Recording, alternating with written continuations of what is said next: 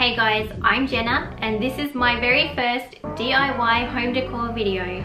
I've made three homewares pieces that I'm really excited to show you and I would have to say even though this is the first time I've done this style of video it's the one that I have definitely enjoyed the most. I really hope that you will enjoy it just as much and if you do, make sure you do give the video a thumbs up because that will let me know.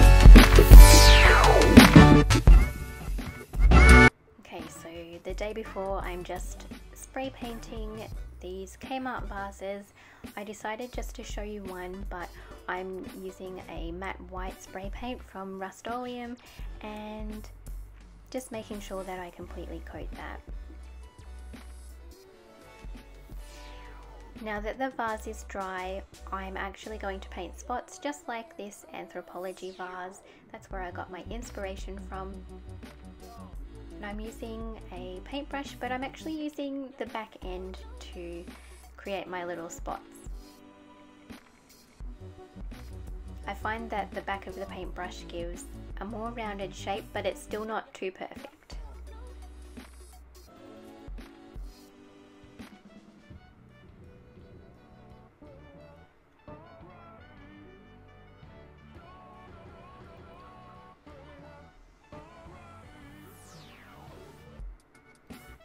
And as I was going, I actually found that it was a lot easier to lift up the vase and do the spots down the bottom first and leave the top part until last so I still had somewhere to hold on to.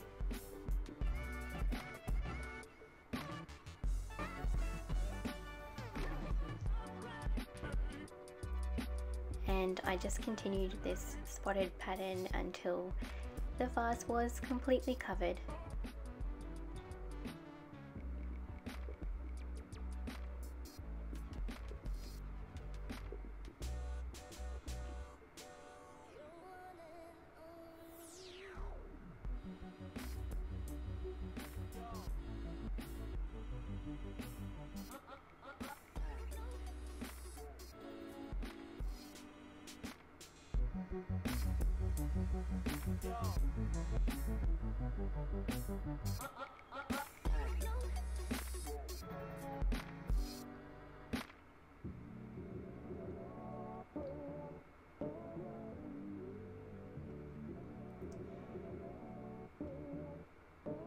And on to my second DIY now.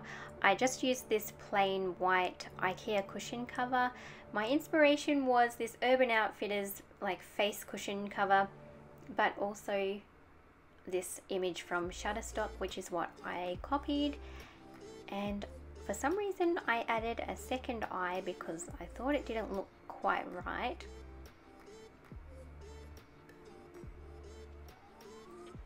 And just measuring my wool always cut a little bit more than you need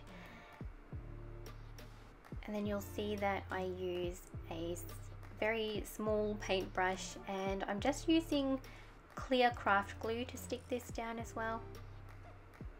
I'm using the brush end to put the glue on and then I'm using the back end of the brush as well just to stick it down so that my fingers don't get covered in glue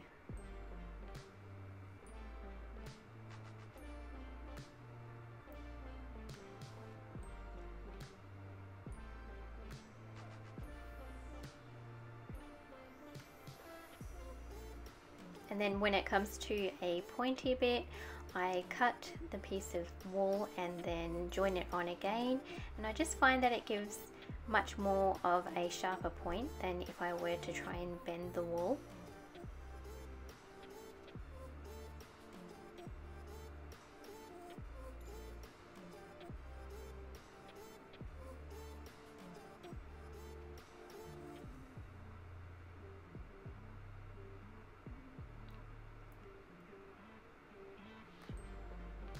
just adding the eyelashes. And you'll notice that I was just painting a little bit of extra craft glue on the ends of the wool as well just to stick those down nice and secure.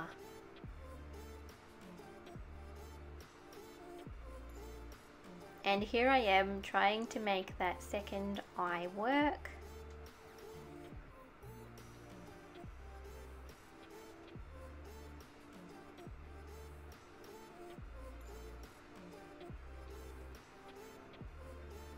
no matter what I tried, it just didn't seem to look quite right. And you'll see here that I make a few attempts and I think it's fine to try different things and see if they'll work and make it individual. But it's also okay if you make mistakes. Normally you can fix them. Or you can just start again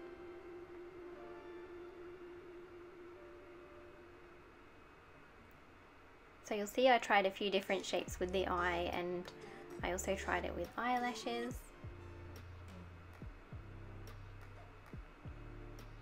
And here I was trying to make it symmetrical with the other side. And in the end I took it off and I actually just went and washed it with some detergent and a cloth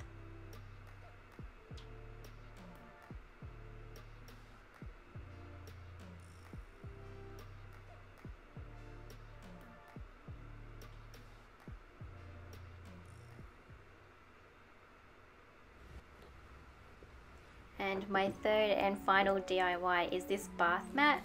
I actually got my inspiration from the Moroccan style. Make sure that you get one that doesn't have a rubber backing. And I just used some wool and a carpet needle. It was really difficult to thread the wool on so I discovered that if I used longer pieces I wouldn't have to thread it through so many times and that really worked. So just make sure that you start from the back and pull the wool all the way through until it's nice and secure.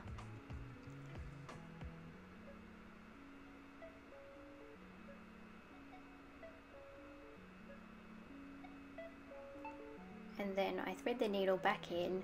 I left about a one centimeter gap for each time I threaded the needle through and that seemed to be the perfect size.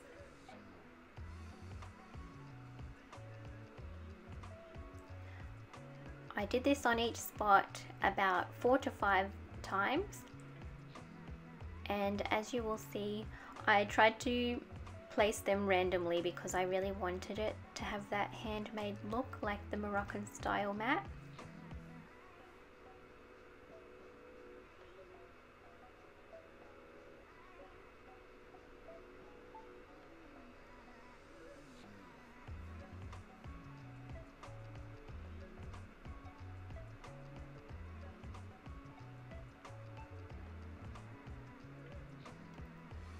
just securing it by uh, threading underneath the wool and wrapping it around and then threading the needle back through and tying off a knot. And then I cut it off and use the same thread again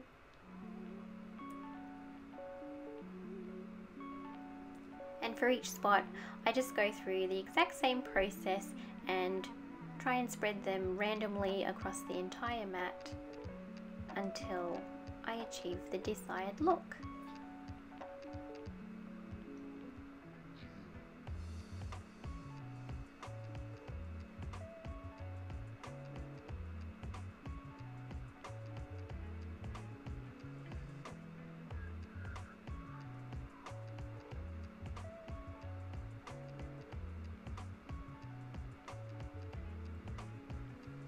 Also guys, this needle is really sharp, so when you're pushing it back through, just make sure that your fingers are out of the way so you don't accidentally stab them.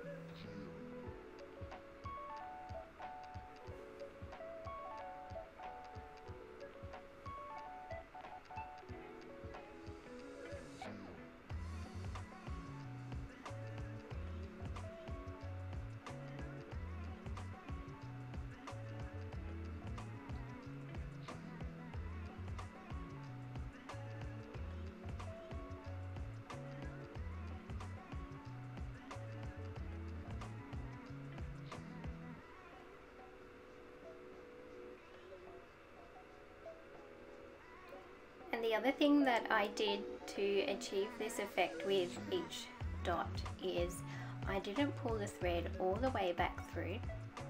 so it kind of gave it a bit of a 3D tufted look which is the look that I was going for